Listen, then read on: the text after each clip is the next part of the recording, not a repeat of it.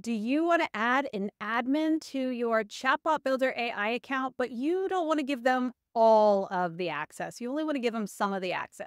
Well, this video is for you, so let's get into it. Click on Add under Admin. You can find this under your settings. You go to Admin, Manage, click Add. Check Super Admin. Now you can decide what they have access to. So if I only want them to have access to contacts an inbox. Then I'm going to do that. Click continue. Give them this link. This is what their account will look like when they only have that. They will have the inbox, they will have contacts. These are their contacts. They have the HTML editor documentation, and support. And there you have it. Now you can add those admin to manage your inbox or other parts of the chatbot without giving them that super admin access. If you found this video helpful, hit me with that like. Don't forget to subscribe as I will be back here with more AI and AI chatbot tutorials. And of course, let me know if you have questions or comments down below. Can't wait to hear from you. Now take a moment to check out the videos that are popping up on your screen. Hopefully you'll find them helpful and get out there and start building.